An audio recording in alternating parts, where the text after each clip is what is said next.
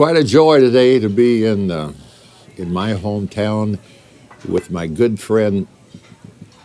Where is he? Would you move that cue card? He didn't show up today though. he didn't show So you got me. Ernie, good to have you, bud. Good to be with you again. And it's good to have a little extra time here. Yeah. You're really in town to uh, uh, to look at tunes. I don't know anything in the world I'd rather do than look at the possibility of songs. Yep. Now tell tell the folks how pure I am when you came to the concert in, in Canton, and I hadn't even thought of it. But intermission, you said, Yeah. How was it? You know, went to the dressing room. How's the sound? How you know? What do you think? I'm like, everything's great, except I've sat here an hour and a half and I have not heard one Gaither tune. I'm at a Gaither concert, no Gaither music. and when you told me that, I said, shame on me, because there are people who come from quite a distance to say, are you going to sing into your songs? Except I do think that underscores a philosophy of approaching music and what we sing uh, that I've had from the very beginning. I love what we write, and I believe it's, I, I, I believe it's inspired. I believe it's good stuff. But the bottom line, when I get out there and sing to the people, or when I have other groups singing singing to the people, I want to sing the very best songs that I think is going to fit. People are that you know it's going to glorify God, and it's going to meet the needs uh, of uh, of people. And one of the reasons is I've seen too many groups in the past just sing their songs because they wrote them, and I'm and I'm going. oh, Jake one night says, "I hope they're done singing. I'm done listening." That's a classic line. Is, is, is that a great line?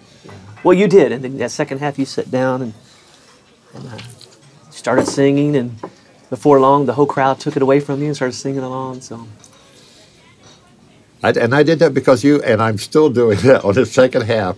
I sit down on a stool, and uh, sometimes I give you credit for it. I say, my old buddy Ernie Haase came to a concert one night and said, You sang for a whole hour and didn't sing any of your songs. it's always good when everybody starts singing. Uh, when the crowd takes a song from you. I was sick this last uh, December on a Christmas tour.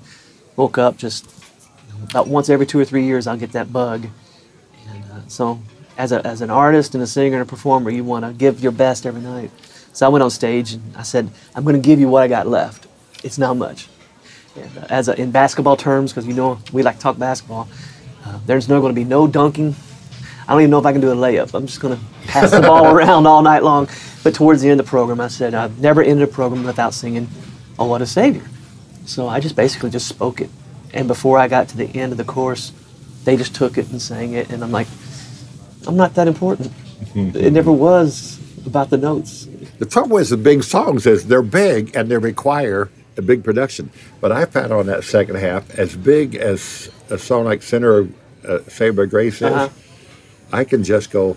If I, you could see what I once was. If you could go with me and get the chorus, go. I'm just a sinner. Let us sing with you. Saved by grace. And we have sung it, and the message got over without us having to scream.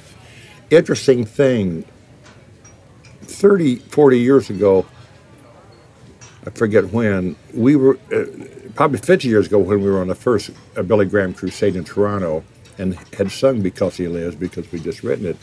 Somewhere along there, Cliff Barrows said to me, uh, Dr. Graham was said at his funeral. And so I said, great. You know, well, he was, you know, 55, 60 or 65. I thought he can live, you know, a few more years Yeah. at least, you know. and uh, so as it went on, they kept saying, we want you to sing a song. So when he passed away this past year, uh, they called and said, we want you to sing Because He Lives. And I said, well, great. But in the process, when I was talking to uh, a couple of the producers, they were a little concerned that we were going to sing it, I guess, with the track, which is really, really big. Yeah. And uh, so I finally called Tom Bledsoe, who was, was in charge of it. I said, Tom, are you having problems with this? He said, only with the production of it. I said, you want to just do it the piano? Put it down a couple steps? Could you? Aw. And so we did, you know. But it is tough for a singer that if they're expecting you to hit a B flat and a C on the end of Because He Lives, Yeah. or The King is Coming, or Oh, What a Savior. That's a, that's a serious problem. Yeah, but uh, I was with my brother and uh, it was his 50th birthday. We were in New York City, so I surprised him because he loves Billy Joel, and so we went to Madison Square Garden. The place was packed out. I think it was like his 98th sellout in a row. He plays it every month, and that same principle applies to all genres. I mean, halfway through the show, everybody was standing up singing. Piano Man. Yeah, I saw it on the. they just the crowd was singing. He just they took the song away from him, you know. And so, um, I think at everybody's core, no matter what your uh, genre of music that you like, or Yeah. whatever, even your spiritual beliefs, whatever stream you choose to believe, at their core, everybody's the same. We we want we want to sing. We want to express what we feel inside, and so you've given a you and Gloria have given the church through many years uh, a vehicle, an outlet, you know, to sing what's inside of them. If you've enjoyed this video, click the subscribe button to get the latest content and check out the other great clips on the Gaither Music TV channel.